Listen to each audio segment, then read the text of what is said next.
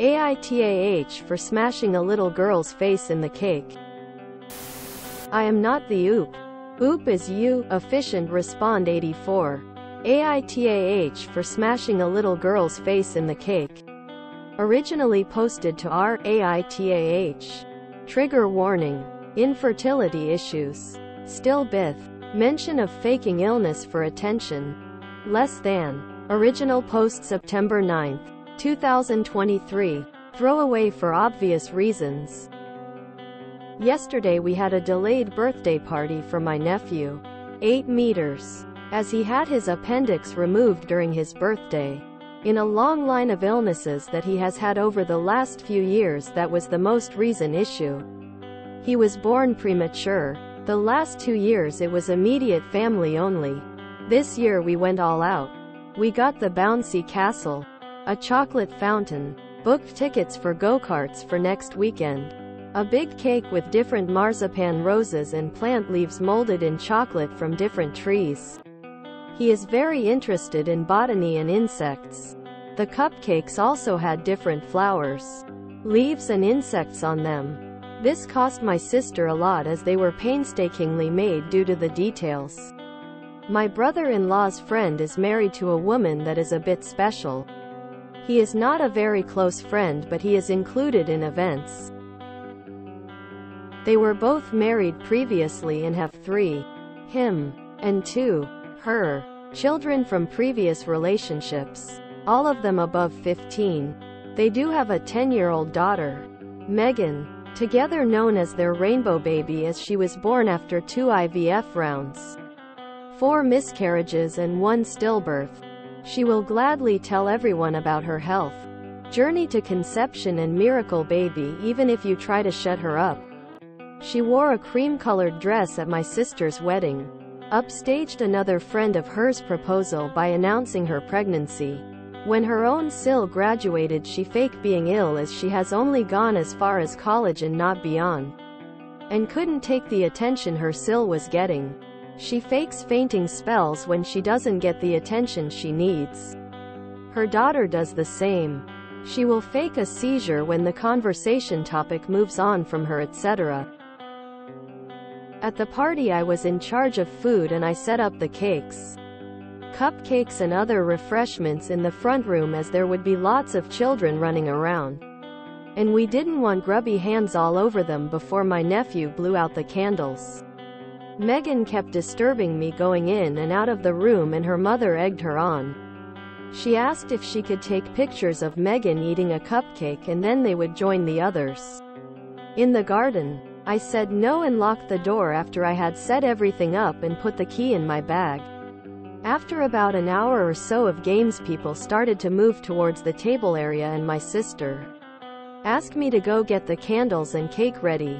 Megan ran ahead of me and as I entered the hallway she unlocked the door which to me was a surprise as the key should have been in my bag.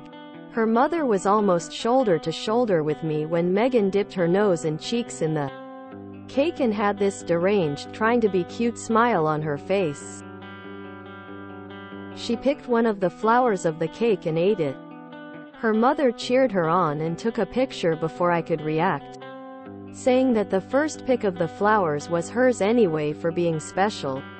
A few more people were in the hallway at this point including my nephew and sister. He didn't look happy. I don't know what came over me.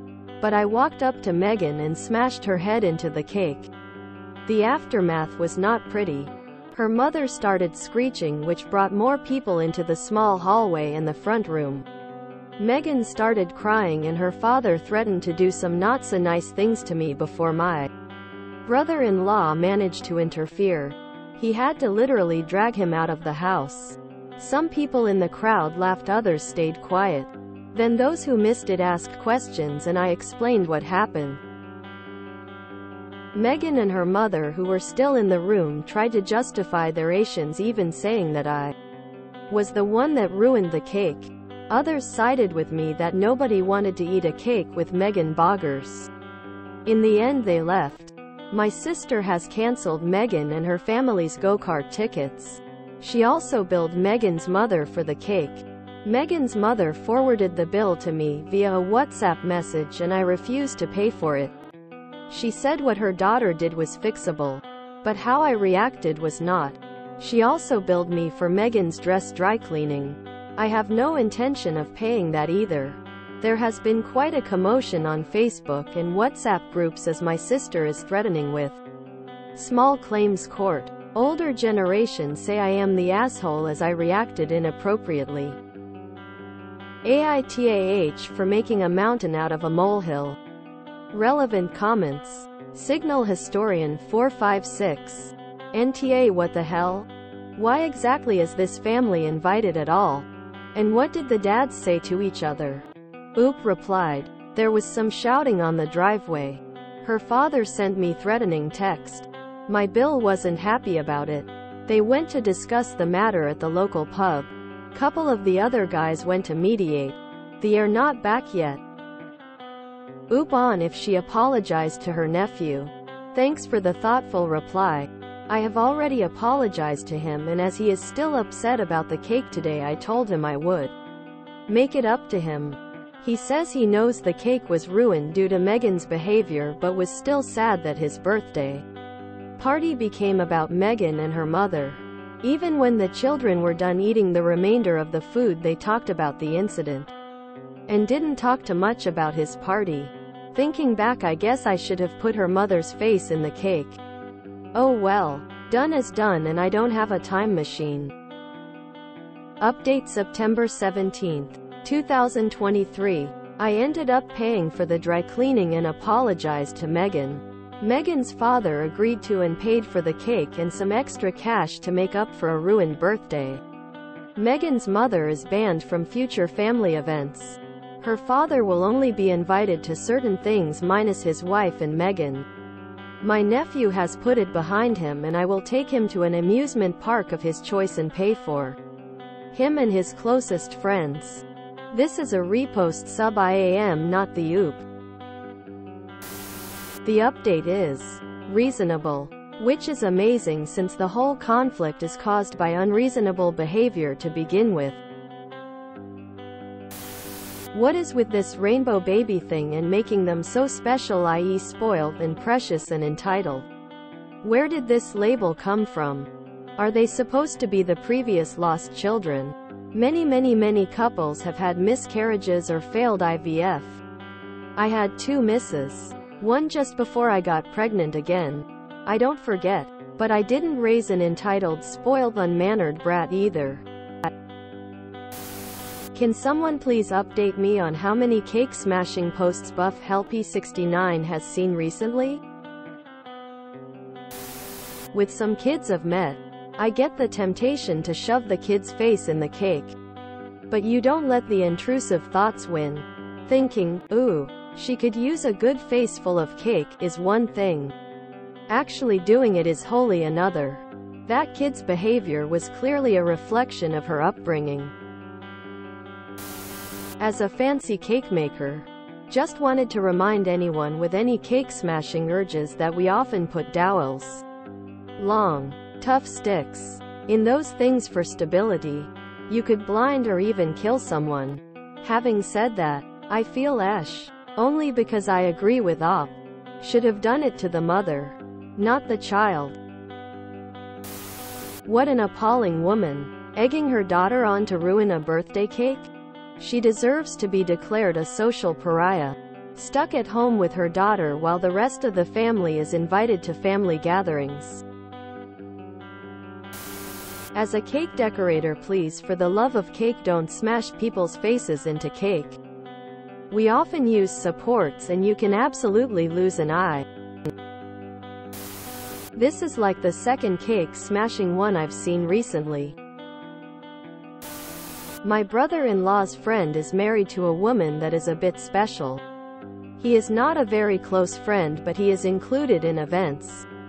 They were both married previously and have three, him, and two, her, children from previous relationships all of them above 15. They do have a 10-year-old daughter, Megan, together known as their rainbow baby as she was born after two IVF rounds. Four miscarriages and one stillbirth. She will gladly tell everyone about her health. Journey to conception and miracle baby even if you try to shut her up. I've read this story a couple times now and I still can't figure out why these people are being invited to events for children their children aren't friends with and aren't related to. I get the first few birthdays because babies are barely sentient and don't care. But at 8 it seems like maybe the guest list should be determined by the kid's friends?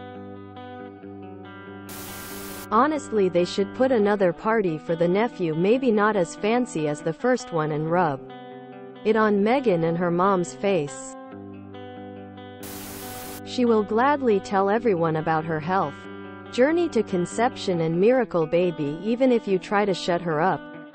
She wore a cream-colored dress at my sister's wedding. Upstaged another friend of hers proposal by announcing her pregnancy. Until this end bit, I thought Oop was still talking about the kid. Nope. It's the mom. I wonder who rifled through OOP's bag for the key.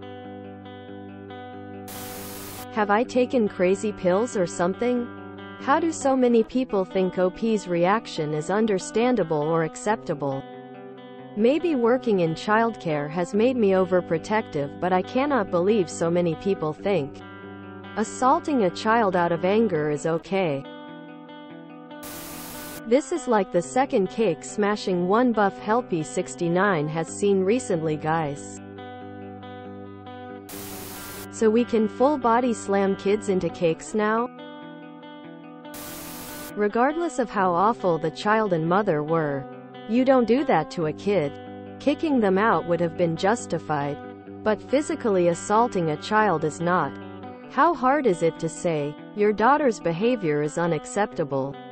And so is your enabling and encouraging it. Please leave my house now? Quote. OOPs got issues if their first instinct was to assault a child who's not even related to them, and escalate the situation. How bad is it that I laughed out loud when Oop smashed the 10 yo face into the cake and pictured it? Maybe it's just the fact that I work with kids but like, bruh, you assaulted a child. It gaff how annoying and selfish said child was being. It is the adult's job to control their own behavior. How in God's name did this get voted NTA? If this was one adult doing this to another adult, I'd still say it was kind of a dick move. But a grown-ass adult? To a child? I usually really don't like the idea of cake smashing on the face but with has happened. I feel like the situation is understandable. Though the cake shouldn't have go onto the kid, Instead the cake should have gone into the mother's face cause the mother is really the problem for letting this behavior to happen. Jerk move for sure but sometimes you gotta do some jerkish thing. I get why Oop was upset, but it would be far easier to cut off the parts Megan touched and still serve the cake if her face hadn't been smashed into it. Plus, the smashing is what really took all the attention off the poor nephew. She did ruin the cake for the nephew. But it was still possible to recover things if the situation was treated with maturity. And this is all really the mom's fault. The child is 10. The mom was the one encouraging all this. Making the child think it would be an okay thing to do. Megan needs to be taught that it's not okay. But smashing her face into the cake won't teach her anything. It was just an adult taking anger out onto a literal child. She could have gotten seriously hurt if there were supports in that cake. Man. I just feel really bad for the nephew. If you enjoyed this video, please check out our playlists full of similar content. Epicaricast is like doom scrolling for your ears. Please like, share, and subscribe.